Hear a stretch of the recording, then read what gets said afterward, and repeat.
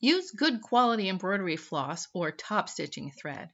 The dye isn't set on cheap floss, so it runs when it gets cleaned.